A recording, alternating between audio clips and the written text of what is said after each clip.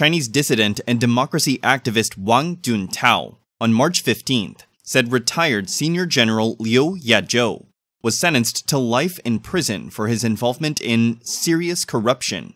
According to Daji Yuan, Liu Yazhou, 71, is a general of the Chinese Air Force from Anhui province. He was the son-in-law of former Chinese President Li Hsien-nian from 1983 to 1988. Although Liu retired in 2017, he is said to still have a lot of influence in the military. At the end of 2021, there were rumors that he was in the sights of the internal purge campaign that Xi had launched after he took the highest job in the CCP in 2012. Chinese Australian scholar Yuan Hongbing once taught at Peking University's Faculty of Law.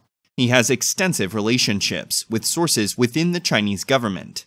In an interview with Vision Times in late 2021, Yuan said that Liu initially supported Xi Jinping but then, Liu was involved in a sex scandal with a female civil servant, which forced Xi to retire him. Then, his view of Xi changed from support to opposition. He later joined the group of CCP officials and former officials opposing Xi. Observers say the CCP's current internal situation is very chaotic.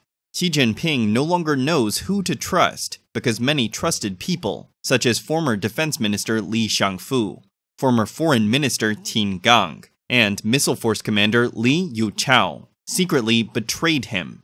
Fierce infighting, pressure from the economic crisis, and social instability are all making observers think that the collapse of the CCP is imminent.